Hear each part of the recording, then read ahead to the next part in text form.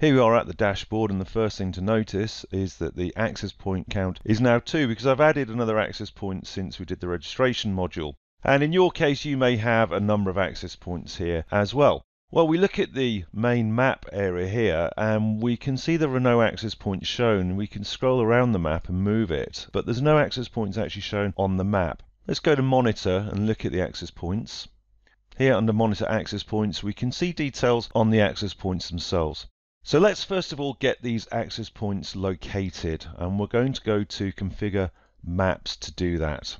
A map then is a floor plan of the location where you've got the access points. There's a sample here, we're not going to use it but I'll just show you what the sample is. This is a floor plan. Now if you're following along this video while you're doing the configuration on your ZoneDirector and you don't yet have a floor plan, I suggest you pause, take a minute, grab a floor plan where you've got your access points installed and then come back.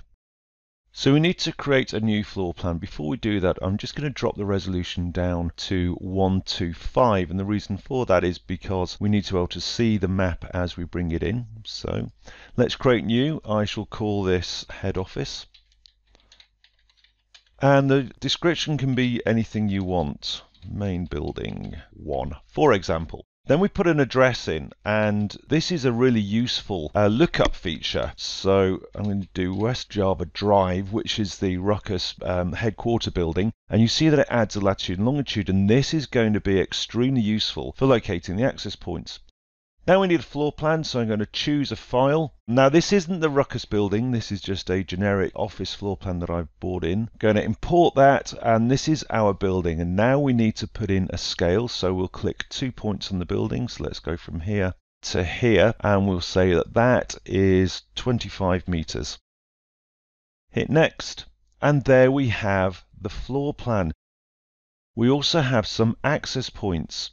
Here are the access points that we've brought into the system and I can click on this access point and drag and drop to a location on the map. I'll bring the second and I'll show that one on the map here.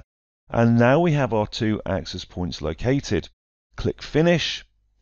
And if we now go back to the dashboard and look at the map, scroll out, and there we have our two access points located on the map. We hover over the access points and we get information on them. Head office, we can zoom into the map, which means zoom into the actual location on the floor plan. Uh, if we zoom into the map, we can see the access points, hover over the access point, and we will get some information. Green is good, so the access point is obviously up and running. Something else that we can do is we can select signal coverage, and it takes a couple of seconds for that to come in.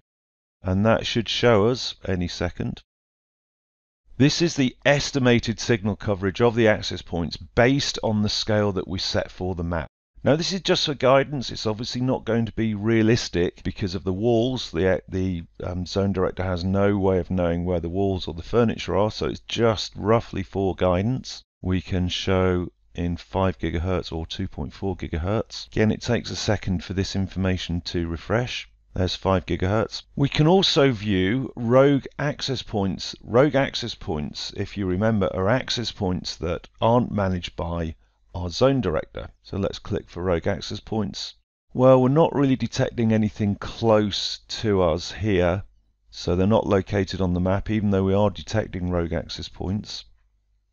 Let's have a look and see. Put 2.4 and 5 on. So, so far we're not picking up any rogue access points. So fantastic. So now we have a map, which is a floor plan here. We have the access points located on the floor plan. We can see the health of the access points and we can go back to the main map and see the access points located.